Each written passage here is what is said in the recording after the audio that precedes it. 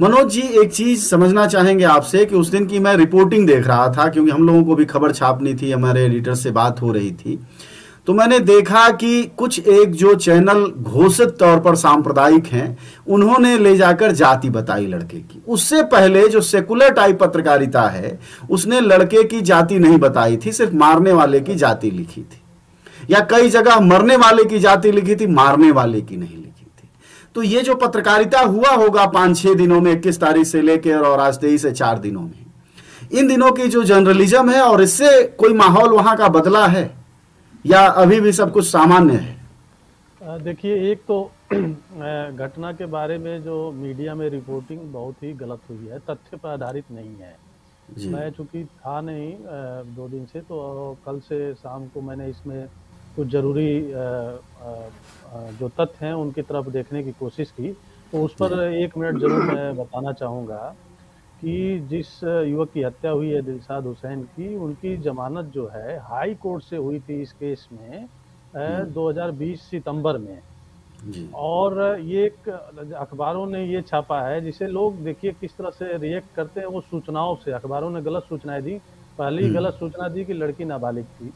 दूसरा ये था कि ये रेपिस्ट है और इसलिए हम्म। इसको मारना जायज़ था और इस पर सोशल मीडिया पर कुछ लोगों ने खुशी मचाई जबकि हम्म। हाई कोर्ट ने जब जो बेल आर्डर दिया है उसमें इस बात को कोट किया गया है कि ये 11 फरवरी को ये लोग दोनों लोग दिलशाद और वो लड़की जो है वो चले हम्म। गए थे हैदराबाद और हम्म। अखबारों में यही आया कि फिर वो उसके बाद केस दर्ज हुआ और फिर पुलिस वहाँ से गई और हैदराबाद से इनको पकड़ के लाई और ये फिर जेल गए।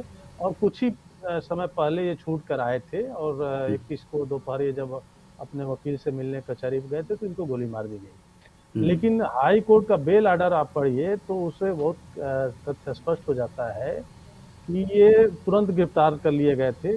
ग्यारह सत्रह को केस दर्ज हुआ था और बीस तारीख को ये गिरफ़्तार कर लिए गए थे। और बीस हम्म। फरवरी से ये जेल में थे और फिर सितंबर में इनको बेल हुई। उसमें हम्म। उस बेल आर्डर में ये साफ़ साफ़ है कि जो जिस लड़की को मीडिया ने नाबालिग बताया वो वो उनकी एज उन्नीस सौ डेट ऑफ़ बर्थ है उन्नीस थी जब सीआरपीएस सीआरपीसी एक में जो उनका स्टेटमेंट रिकॉर्ड किया गया था हम्म। तो उसमें वो उन्होंने बताया कि बीए पार्ट टू की वो स्टूडेंट है और उनकी डेट ऑफ़ बर्थ जो है 98 है यानी कि घटना के समय आ, उनकी आयु बाईस थी। जबकि पुलिस ने हाँ जबकि पुलिस ने इसमें पाक्सो एक भी लगाया, लगाया। अपहरण का भी लगाया और रेप का भी लगाया तो क्या हुआ कि मीडिया में जब आप ये कहते हैं पूरी सूचना नहीं देते हैं नाबालिग नाबालिग आज भी लिखा जा रहा है दूसरे दिन की भी रिपोर्टिंग हम्म। में और इसको हम्म। नाबालिग लिखा गया हम्म। तो इससे क्या हुआ कि लोगों को लगता है कि एक ऐसा और आरोपी चूँकि अल्पसंख्यक समाज से है और जिस तरह की एक राज, राजनीति बनाई गई है अल्पसंख्यक समाज के प्रति नफरत और लब जिहाद का भी बल्कि बहुत सारे लोगों ने एक अखबार ने यह भी लिखा था कि उसने अपना धर्म छिपा के शादी की थी हम्म। जबकि ये दोनों लोगों ने यहाँ से जाने के बाद आर्य समाज में शादी कर ली थी हम्म। और स्वेच्छा से रह रहे थे इस तरह का बेल आर्डर में आप हम्म। पढ़ेंगे तो उसको तो ये इस तथ्य को छिपाया गया तो इसलिए जो उसकी प्रतिक्रिया थी सोशल मीडिया में बहुत सारे लोगों ने जायज़ ठहराया कुछ लोगों ने जो जिन जिस पिता ने गोली मारी है उनको उनको हीरो के तौर पे प्रस्तुत कर रहे हैं और उनको आर्थिक सहायता और सामाजिक सपोर्ट देने की भी बात चल पड़ी है हम्म। तो ये एक अजीब सा जो इस तरह का इस पूरे देश में पिछले कई वर्षों से जो हम्म। माहौल बनाया गया है कि अपराध को अपराध की तरह न लेकर उसके दूसरे कोणों से उसकी व्याख्या करना एक अपराध पहले हुआ है उसमें भी गलत तरीके से चीज़ें रिपोर्टिंग हुई और, और दूसरा योगी जी जब खुद लड़ रहे हैं और वो खुद भी ऐसे भाषण देते रहे कोई छुपम छुपाई की बात नहीं है और वो तो सरेआम बोलते रहे तो इससे थोड़ा और सह मिलता होगा वहाँ के मीडिया वहाँ के लोगों जनता को हाँ जी और जैसे राकेश जी अभी बता रहे थे कि ये जुलाई हम्म। महीने में भी ये ग्राम पंचायत अधिकारी की हत्या हुई थी जो समाज में आते थे हम्म। और उन्होंने एक हम्म। ब्राह्मण समाज ब्राह्मण लड़की शादी बिल्कुल शादी किया था तो उनकी बहुत सरेआम धारदार हथियारों से जिससे फ़िल्मों में हम लोग देखते हैं हम्म। उस तरह से बहुत ही क्रूरता पूर्वक हत्या की गई थी तब भी उस समय समाज इस, इस समाज का एक बड़ा हिस्सा जो है उस घटना को वो चुप रहा हम्म। तो ये एक दिक्कत ये है कि अपराध की घटनाओं को अपराध की तरह न लेकर अब अब जाति और धर्म के नज़रिए से देखा जाने लगा है और इस हिसाब से कि अगर हमारे समाज का उत्पीड़ित वर्ग है तो हम बोलेंगे नहीं तो नहीं बोलेंगे। अगर हमारे ही समाज का उसने अपराध किया तो उसके सपोर्ट में खड़े हो जाएँगे। अभी गोरखपुर और आसपास के जिलों में ऐसी कई घटनाएँ हुई जैसे एक ब्राह्मण युवक की हत्या हुई। तो वहाँ ब्राह्मण समाज के लोग और ब्राह्मण नेता वो उसके उसके घर गए। जबकि जो हत्या करने वाला था तो उसको निर्दोष बताते हुए वो दूसरे दल के जो लोग हैं जिनकी बड़ी चर्चा है आजकल वो लोग उसके पक्ष में खड़े हो गए। तो आज हम्म। हर घटना में अब बात केवल अपराध और अपराधी और तथ्य और विवेचना की नहीं रह गई है बल्कि अब वो जो है एक जिस तरह से ध्रुवीकरण है जिस तरह से समाज बटा हुआ है उस तरह से उसकी व्याख्या की जाती है और उस तरह के बात किए जाते हैं ये बहुत ही दुर्भाग्यपूर्ण है। और दूसरी एक बात और मैं कहूँगा कि गोरखपुर और आसपास के इलाकों में इस तरह से आ, ये आनर किलिंग की घटना है एक तरह से बिल्कुल ये जो घटना हुई है वो आनर किलिंग है हम्म। और उसको न देखकर ये एक सजा के तौर पर दिया जा रहा है और जिस तरह से तेलंगाना में एक घटना हुई थी हम्म। और उसमें पुलिस ने वो आरोपियों को ले जाके मार दिया था हम्म। समाज न्याय का करीब करीब उसी तरह की स्थिति है क्योंकि वो पुलिस हाँ। मतलब बिल्कुल बिल्कुल तो ये है और ये एक पूर्वांचल जो है हम लोग का इलाका जो है जिसके बारे में कहा जाता है कि इस तरह से सामंती मूल्य और समाज सामंती समाज नहीं है उस तरह हम्म। की कोई पंचायतें नहीं है जो इस तरह का हम्म। फैसला देती हैं लेकिन मैंने हाल के दिनों में देखा है कि ये प्रेम विवाह को लेकर और लड़के लड़कियों को आपस के सहमति से शादी को लेकर यहाँ का भी समाज उसी तरह से कठोर है और उसी तरह से दमन करता है और आ, और आनर किलिंग की बहुत सारी ज़्यादा ज़्यादा घटनाएँ हुई हैं। और सभी घटनाओं में एक बात देखना है कि पुलिस भी पुलिस का भी रवैया जो है उसमें जो अपराध करते हैं जो हत्या करते हैं उनके पक्ष एक बहुत उदार रहता है। एक घटना में मैं गया था तो वो पिता ने अपनी बेटी की हत्या कर दी थी क्योंकि वो एक दूसरे जात के लड़के से प्रेम करती थी। तो मैं थाने में गया था और इंस्पेक्टर से मिला और उनका पक्ष जाने की कोशिश की तो उन्होंने कहा कि मैं तो ल, ल, मैं भी यही करता अगर लड़की का पिता होता तो मैं भी यही करता। मनोज जी आप से पहले अब तक किसी ने वो जानकारी नहीं दी थी एक के बयान वाली जिसमें आप कह रहे हैं कि इक्कीस बाईस साल उम्र हो गई है क्योंकि मैंने जंजवार के भी रिपोर्टर को जब लगाया तो वो भी करीब करीब थोड़ा आगे बढ़कर बात किया था लेकिन वो वाला सच नहीं निकल पाया है। तो ये बताइए कि ये गैप क्यों रहा? मतलब जर्नलिज्म में ये गैप हम सबको नहीं रखना चाहिए लेकिन ये गैप क्यों छूट जाता है? ये तो बहुत प्रारंभिक चीज़ थी जो कि ये पता करना चाहिए था वहाँ के पत्रकारों को क्योंकि वहाँ खोजी सोजी सबसे आगे सबसे पहले सबसे तेज हर तरह के लोग हैं वहाँ पत्रकारिता में। जी। ये तो इसलिए है ना कि पत्रकारिता में भी जो लोग हैं आ, वो भी आ, मैंने लंबे समय से और गोरखपुर में तो खास तौर पर देखा है कि वो हम्म। भी एक विचारधारा से ग्रस्त है सामंती भी विचारधारा है सांप्रदायिक भी विचारधारा है इसलिए वो घटना को उसी तरह से देखते हैं कि पत्रकार का काम था कि तथ्यों की छानबीन करना तो ये हम्म। बहुत आसान था क्योंकि इस वकील से वो मिलने आया था अपने वकील से उनसे बातचीत करके पूरे केस की नवैयत जानी जा सकती थी कि उस केस में हम्म। क्या था।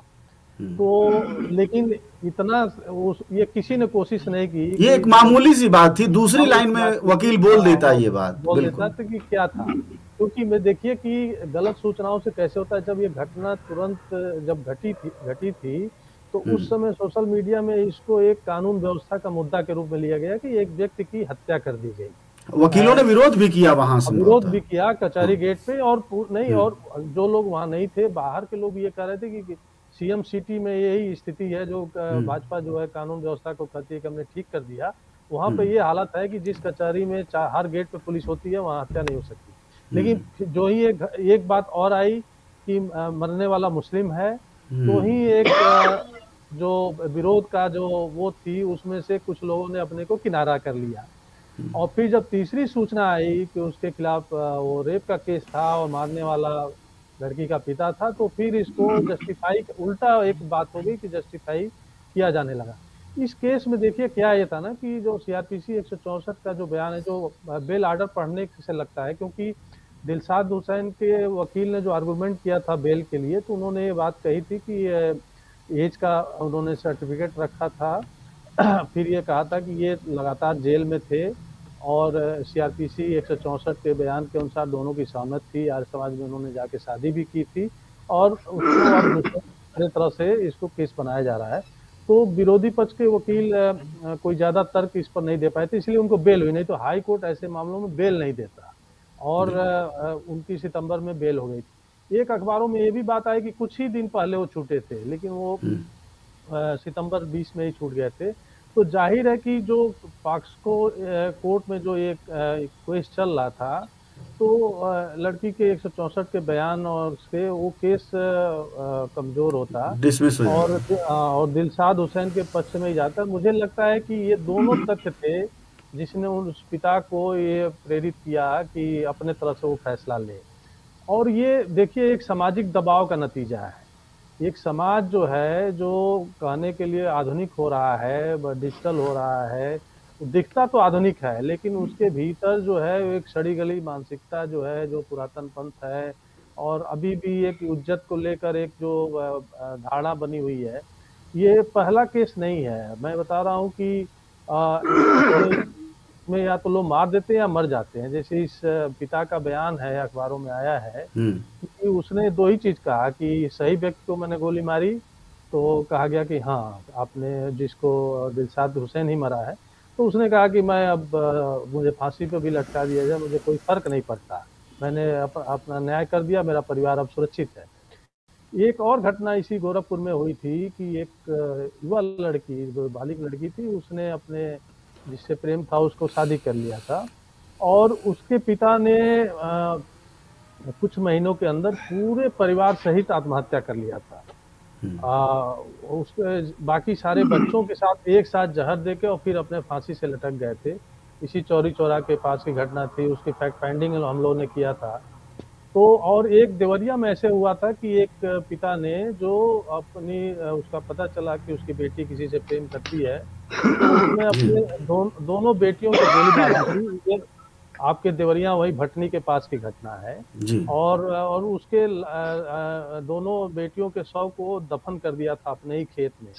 और बाद में ये पता चला ये ये दिखाता है कि ये जो समाज है अभी भी पिछड़े हुए जो मूल्य हैं उसके दबाव में जी रहा है और इस इस तरह की घटनाओं को सही परिप्रेक्ष्य में लेने के बजाय एक दबाव बनता है। ऐसा नहीं है मुझे लगता है कि पूरे शहर समाज में इतने प्रेम विवाह भी हो रहे हैं उसकी सामाजिक स्वीकृति यहाँ भी मिल रही है। लेकिन एक अपना अपने मन का दबाव है कि हमारी बेटी ने किसी से प्रेम किया चाहे वो दूसरे जात का है या दूसरे धर्म का है। तो वो हमारे ऊपर दबाव है कि हमारी इज़्ज़त चली गई।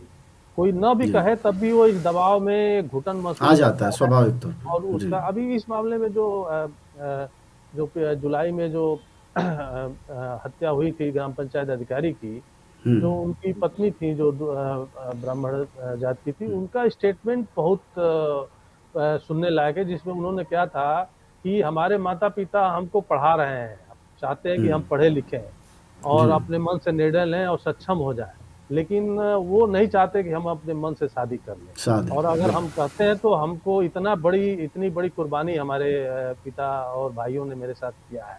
मैं तो ये सोच भी नहीं सकती कि ये समाज इतना सड़ा गला है। तो ये इस समाज में जो लड़कियाँ फैसला लेना चाहती हैं समाज बदल रहा है तो, तो माता पिता तो ये तो चाहते हैं कि वो पढ़ लिखे डॉक्टर हो जाए इंजीनियर हो जाए अधिकारी हो जाए लेकिन हम्म। अपने निर्णय अपने प्रे, अपने प्रेम से शादी ना करे और कोई प्रेम ना करे इस पर उनका अभी भी नियंत्रण